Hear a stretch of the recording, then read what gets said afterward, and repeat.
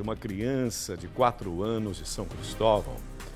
Você se lembra disso? Eu, eu, sempre sou mais sincero contigo, tenho toda essa intimidade, a dificuldade que eu sinto até em tratar desses assuntos. Estou ficando velho, eu penso que de repente eu tenho uma casca emocional, né?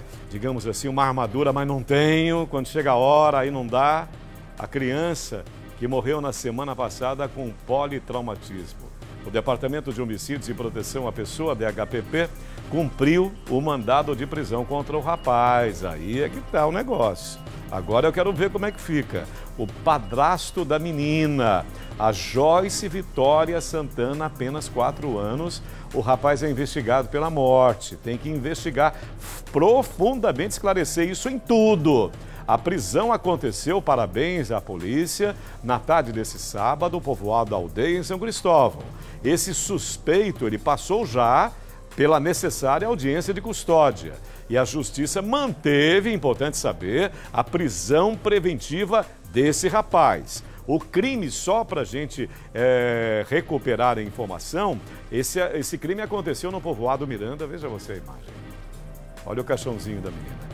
Dia 23 de abril, São Cristóvão, a Jéssica estava lá conosco ao vivo, fiquei aqui emocionado, ela igualmente. De acordo com as investigações, o que a investigação traz? Qual é a linha de investigação?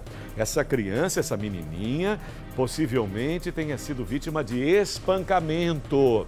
Ela foi socorrida pela avó. A avó inconsolável, descontrolada na situação. Ela foi levada, a criancinha, ao Hospital Senhor dos Passos e, em decorrência da gravidade da agressão, a menininha transferida ao Hospital de Urgência de Sergipe, o USE, onde esse anjinho veio a falecer. De acordo com investigações, durante o socorro, a menina teria apontado o padrasto como responsável pelas agressões.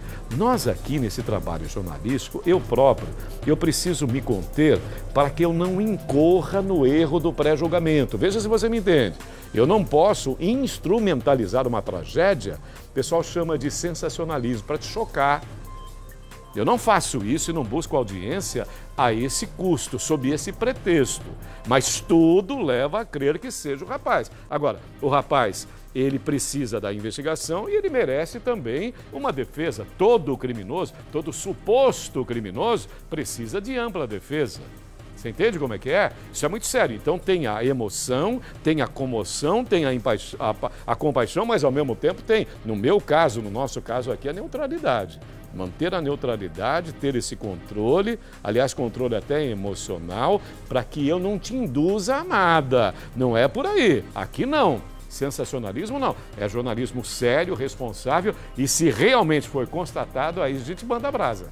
Aí a gente manda ver mesmo. Agora vamos ver o que aconteceu de verdade e fato, ok?